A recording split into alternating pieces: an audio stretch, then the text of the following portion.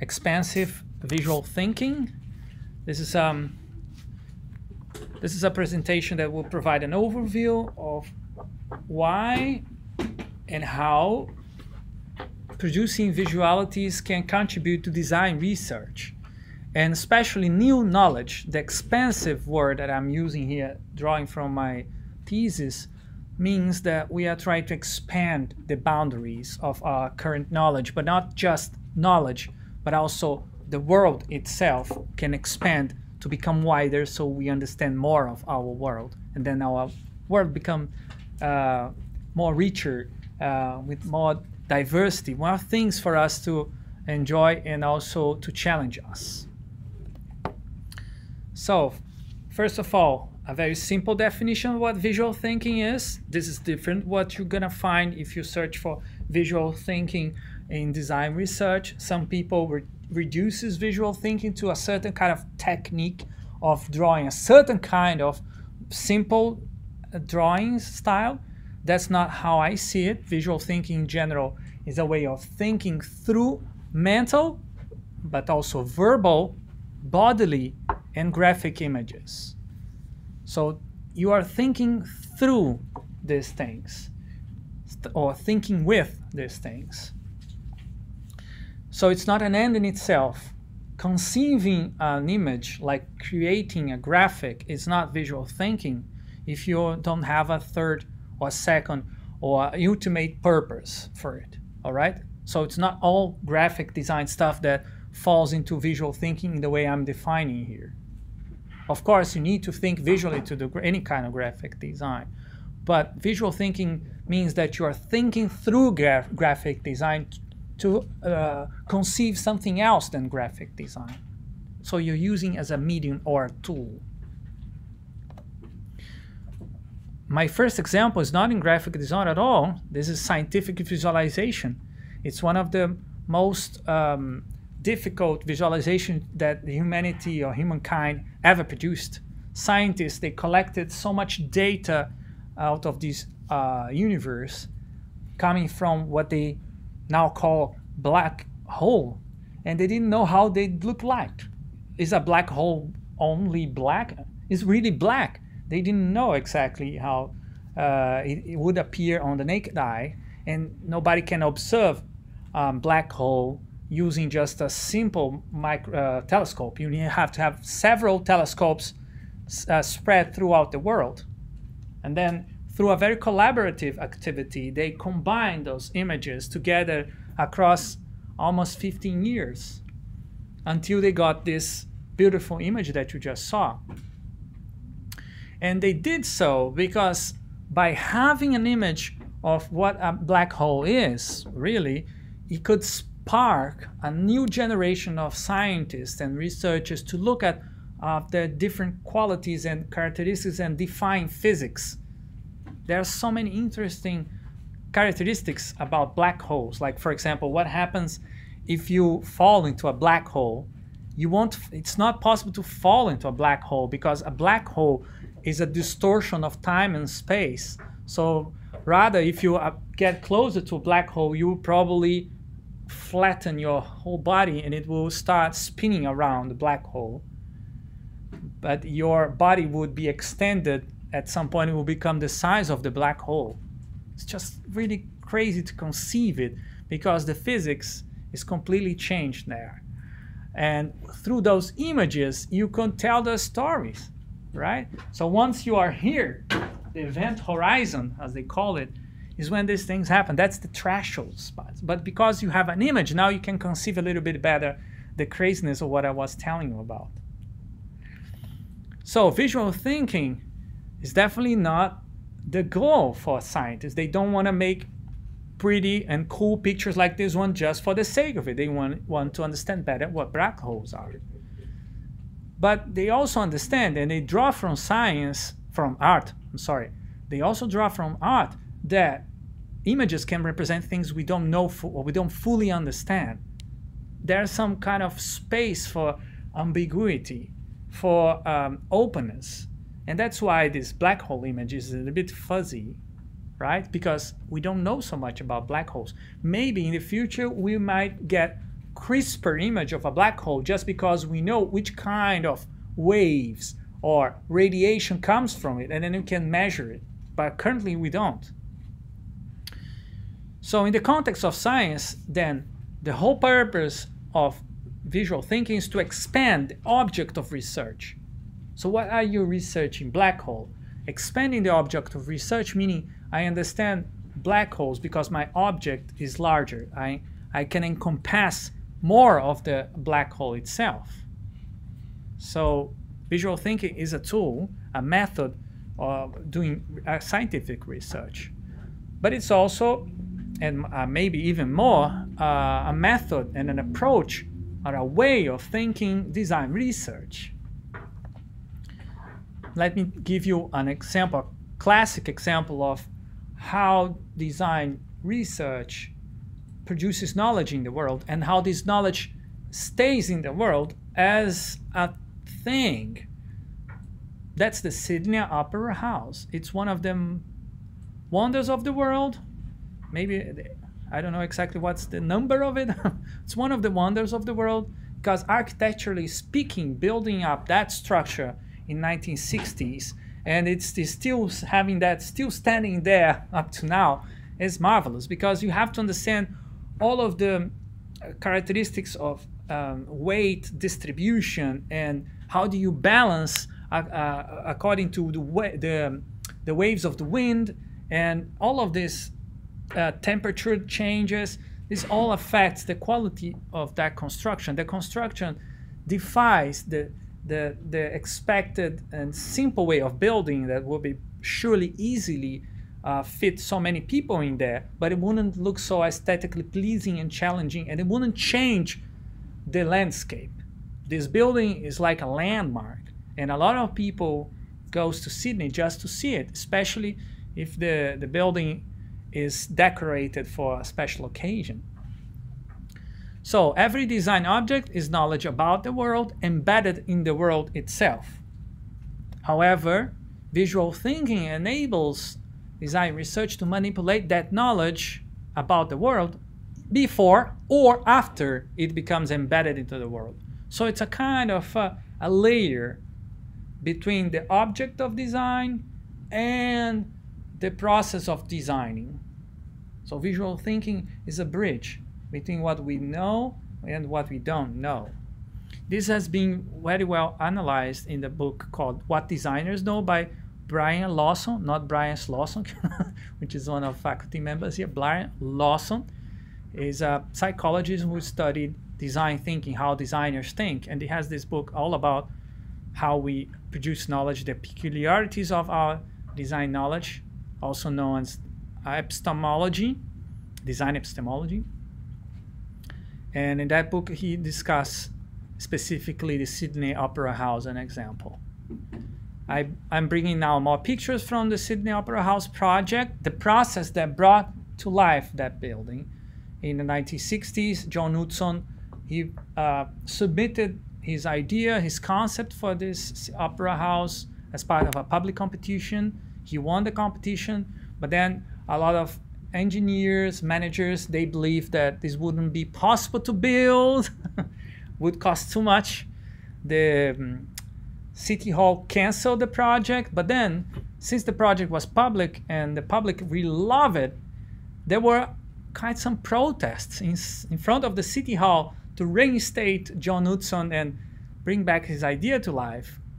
And the City Hall ended up not uh, requesting Utzon to return to Australia and finish the project. Instead, they commissioned a new group of engineers and architects and managers that were more like into implementation because this guy was crazy. He was bringing so many new ideas that they wouldn't know if it was possible to build.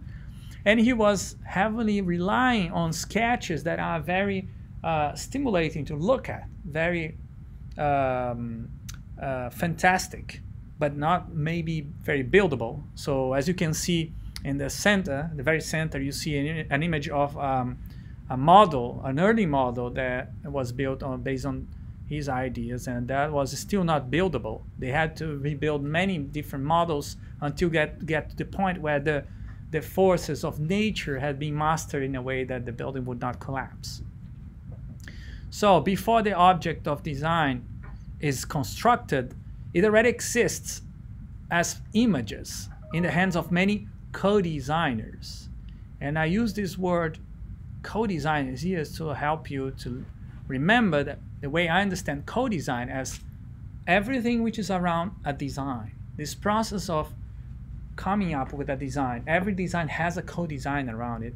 I, I took this insight from a book written by uh, Loukissas, who is called Co-Designers. I really recommend it. It's a completely different way of looking at co-design.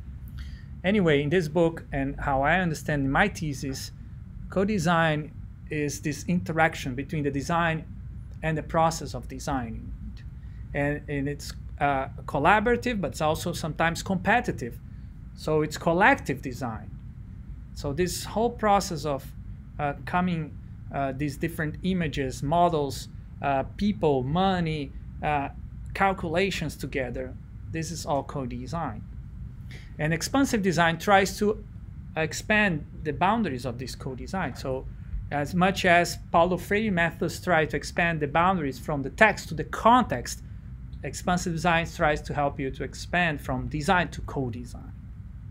In this specific lecture, I'm emphasizing visual thinking as a means, as a medium, as a tool for, or as an instrument to uh, facilitate or complicate this expansion from design to co-design. But in past lecture, I also presented you Lego Serious Play as a, a tool with the same purpose.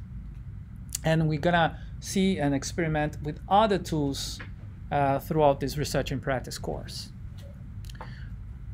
But I want to point you out that co-design is not just about what happens before a building is built or before an object of design research is defined, but also after it's implemented and built that is still going on. Design research is never done. So the Sydney Opera House has been redesigned or reframed or uh, reconceptualized in so many different ways after it was being built. Every time they create a new image that would um, repurpose the building. For example, at the center, we see a, a protest against uh, war in Palestine, which is quite old now. As you can see, this war is still going on, but it's a, a building being used as a wall, as a kind of a wall of, where you can host a protest that the entire world could be uh, aware of just because this building is so iconic. The building was never designed to be uh, such a wall, and it was a very creative way of reframing uh, and rethinking the way this building plays a role in geopolitics. So co-designers can still handle design objects through visual thinking. And all of these images you see here, they are trying to change something else, which is not themselves. They are not images for the sake of images. They are producing something else. So they are means, they are mediums, they are tools, instruments.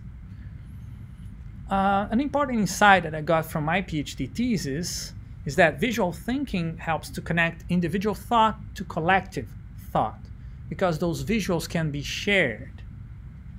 And sometimes it's hard to share, sometimes it's hard to convey a message just by using words. Sometimes you have tacit knowledge that cannot be conceived into words yet because it's not well articulated. But then you can use visuals. And when I say visuals, I'm not just talking about drawings. As I mentioned before, visual thinking includes also um, uh, spoken images. If I start to talk about something and you close your eyes and you picture what I'm talking about, that's still an image. It's not anything that it would say would evoke an image. It has to be very peculiar on depicting the overall scenario of it, but it's still visual thinking. You can also use Lego, you can also use uh, theater, and many other ways. But the most importantly, you are connecting to someone else's knowledge, and with that, you are expanding the boundaries of your uh, understanding of your learning. That can be conceived in this very uh, naive um, sketches I've made before I was wrapping up my thesis.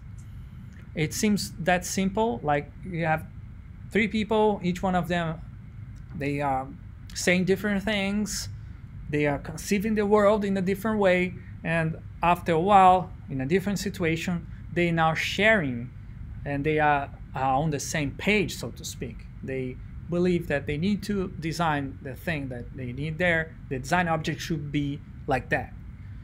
But unfortunately or fortunately, this is not always so simple. There's some conflicts, and I was very happy to have found this. It was one of the most important findings in my research is that uh, design does not occur in a perfect democracy of robots agreeing with each other. Human beings, they have different backgrounds, uh, different interests, and when they meet, uh, they, they gather together, there will be some friction and conflicts, but these come from an, uh, common origins, a historical origins, which is not just an opinion. That's what I call a contradiction. So by engaging that the discussion and confronting those perspectives and ideas and concepts that from that friction can expand a new thing that reframes the contradiction in a positive way. Many instruments, as I said, can be used to deal with contradictions. I've tried a lot of um, interactive uh, 3D uh, visualizations that you could use using digital boards in my PhD uh, research, but you can also use um, uh, sketches like these ones. You can also use Lego Serious Play. You can use many other ones that I don't even know, but it's up to you to uh, research and collaborate with that. And it's particularly useful, these instruments, when you are trying to reproduce contradictions in an ambiguous way. If you try to reproduce a contradiction in a very realistic and precise way, you are probably going to lose the contradiction because it's you're going to resolve the contradiction and make it so that it's so easy to understand that it's no longer a contradiction. Like 1 plus 1 equals to 2. There's no contradiction there. But if I say 1 plus 1 equals to 3, you're wondering what you're saying? Then there is a contradiction here. But why you're saying this? Maybe you want to convey that the plus is also a meaningful sign. It's not just the one and the and the other one. The plus adds some extra meaning to it, and then you get three. If you really think graphically, as a if you're a visual thinker, you should never accept that 1 plus 1 equal, equals to 2. As a graphic designer, 1 plus 1 equals to 3 graphic signs. Well, what about the equal? Yeah, you can't put that on the spot, too. Aha!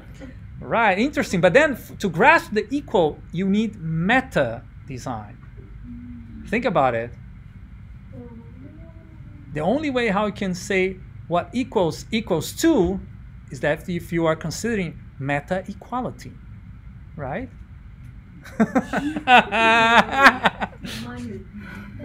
but while we were discussing this, had, did you have that in your mind? You are imagining this equation. I didn't show in the picture here. This is a, a verbal image, right? We all share this. It's very interesting how we create, co-created this together now because it's not even part of my slides. That's what I'm talking about when I say visual thinking helped us to move from individual knowledge because I only knew this. I knew this trick. I never saw this before. This came out just because we are having this dialogue now. And we also probably haven't ever thought about this, that one plus one could be read in a graphical way, right? And we are co-creating this knowledge now. And that's why it's called expansive, because we don't even know where we are getting with this conversation now, right? And it's always a surprise. So expansive visual thinking it is a mode of thinking that in which mental, verbal, bodily, and graphic images are produced. That's the same definition that we saw before. However, there's something new here. The purpose of expansive visual thinking is not any kind of knowledge. It's really unearthing contradictions in co-design.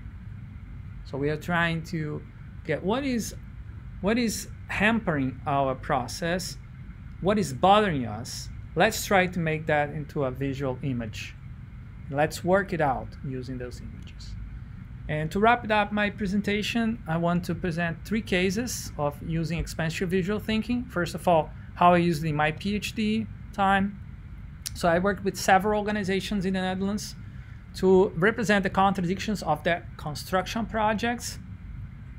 I want to draw attention to the very last one on the bottom corner of the screen, where you see uh, you see a rock that represents nature and how they would impact nature by building or rebuilding uh, a di- um, how they call it, um, a flood uh, barrier to it. So they in the Netherlands they live under the um, the sea level below sea level, so they have to construct a lot of uh, what a levee. The barriers. How are they called? Dam.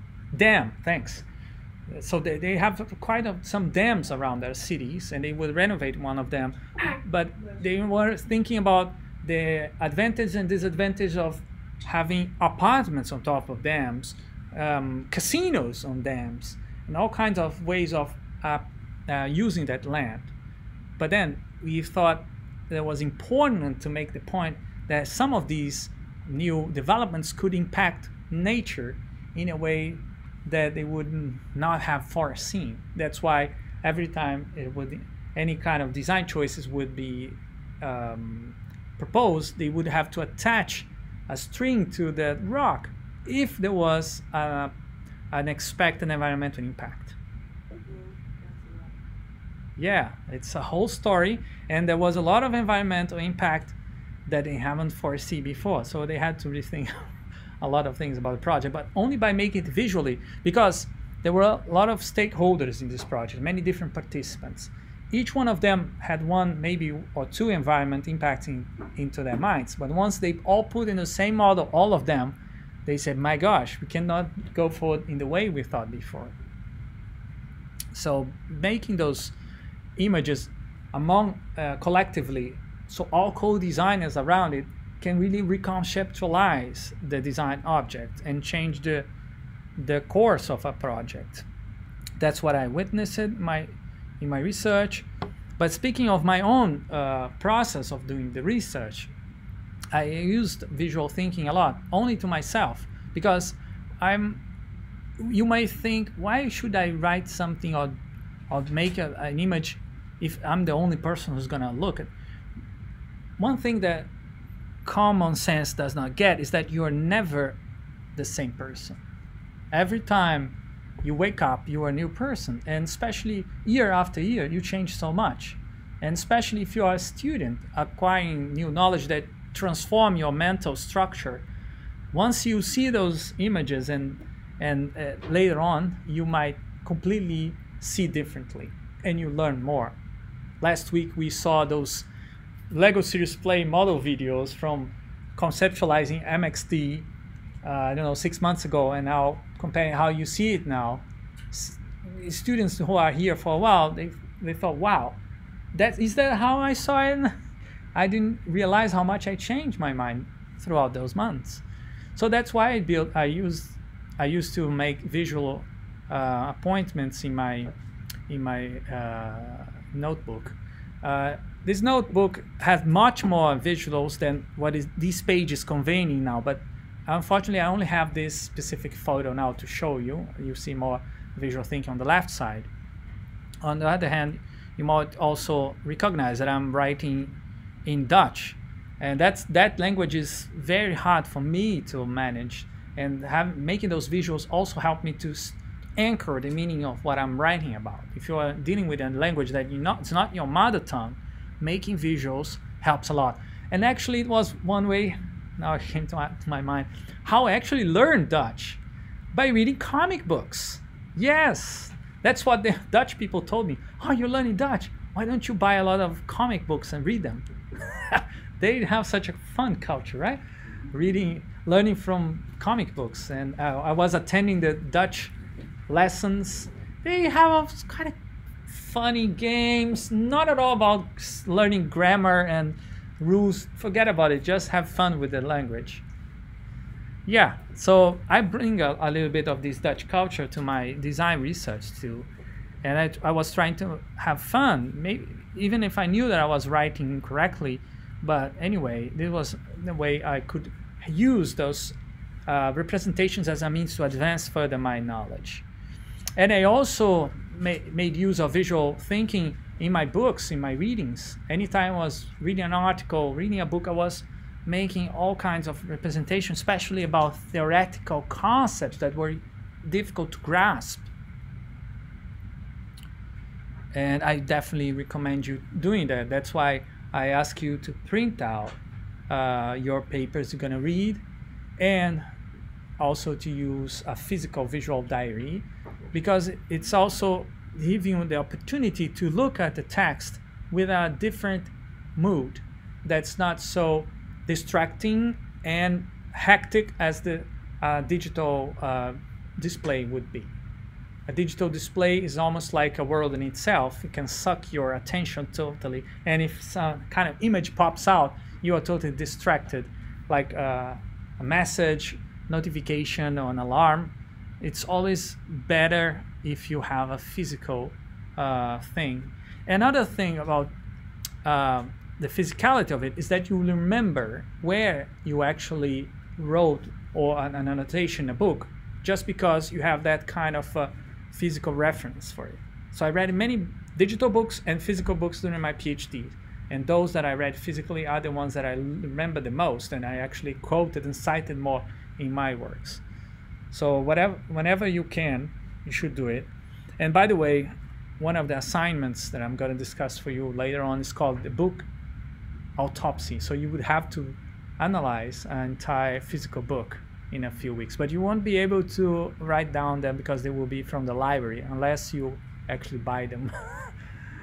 uh, that's that's the the disadvantage of it. But you can also put post-its on the books on the library, and there are some invisible post-its, transparent post-its that you can draw on top, so you can still use it.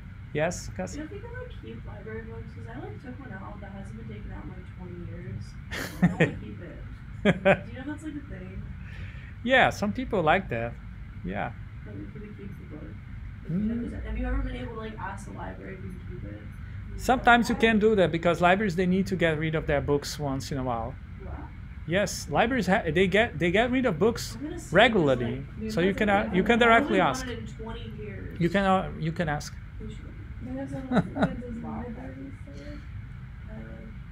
but can I just finish here? I'm Sorry. so I'm about to finish. So besides all of those serious application of visual thinking for work purposes, I also start experimenting that as an a inter, a multicultural, intercultural uh, medium for dialogue. And I was using some little games, visual games, to play out um, some fun, uh, having some fun activity with kids and people from other cultures that I was meeting there. So this in this um, table that you're seeing the picture there, I'm, there are probably some three or four nationalities, people from different nationalities and we are playing this marvelous game. Not not everyone speaks good English there, so it's hard to speak to have a, a fun to have fun with English. But we can have a lot of fun with pictures that have multiple meanings. That was we were exploring that game. Uh, second case, expansive visual thinking, the Copel Plus project. Uh, it was a project hired by a uh, utility company in Paraná State, where I lived in the um, past uh, 15 years. And Hot Milk is the, was the innovation agency of uh, Catholic University. They assisted this company in communicate the contradictions in the energy sector to new startup entrepreneurs. So we used a lot of visual thinking strategies, Lego Serious Play, including and um, game storming activities. In the end, we got this very nice video animations explaining uh, what were the, the challenges of the energy sector to these entrepreneurs. And they drew from the graphics that we sketched out in our sessions. And those people sketching out they are not designers. They are not uh, even to art. They are engineers. They are managers. They are all kinds of professions working with us into building this common shared vocabulary. This company loved so much this way of working, a collaborative, creative way, that they just started to incorporate and do it as part of their all of their innovation routines. The, all of these pictures you see are not from workshops or classes that I'm teaching. These are themselves organizing and using visual thinking. And even they bought their own Lego sets, which was really a breakthrough moment for them. They even decided to take a picture of themselves going to buy um, uh, supplies for the uh, company in the Lego store. And last, the last case is expansive visual thinking, teaching design creativity at Federal University of Technology, Paraná, my last job. And I taught this course for first uh, freshman years, freshmen, freshman students, first years.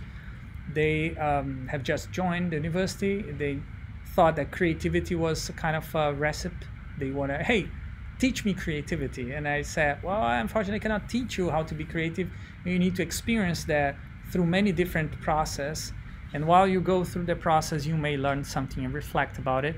We tried from brainstorming visually to theater through playing game, uh, board games that explore uh, visual images but the most important tool that I could definitely see students developing, and growing their visual thinking skills and creativity was the visual diaries. And as you can see from this picture, you can already uh, imagine what I'm expecting from you in this course, in this visual diary that you're gonna handle me by the end of the semester. You should definitely try to explore how to put your ideas in so many different ways with different materials, colors, uh, ways of sketching, not just writing, but also writing as part of your drawing. So think about uh, text as an image.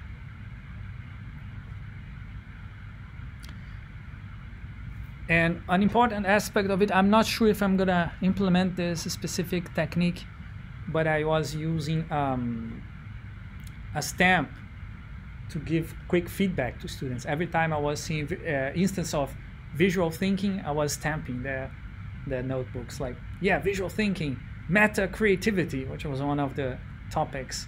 Visual thinking, meta creativity. And so they could know if they were actually uh, producing something that would achieve a good grade. I had to evaluate 40 students in this class. How could I do that so quickly? And if I would take their notebooks home, they wouldn't be able to use the notebook at home during an entire week. That would be too much. So I created a situation where I, I left them doing all kinds of mess in the in the classroom. I'm gonna show you the video in a minute. And then while they were making that mess and being very playful, I was grading the, but I was grading really fast, like bam, bam, bam, stamp, stamp, stamp. so that's how you you manage to do critical pedagogy in a situation where you have limited resources. Finally, to wrap up this thought, once contradictions are visually conceptualized, they can better be understood as seed of change rather than an error of judgment. So contradictions are not enemies, they are uh, your friend because they are announcing what's up to come, what is the future to come. They are uh, encapsulated into contradictions and visual thinking is a way of making that more visible. So you can check later on the references if you're interested on. Thank you so far.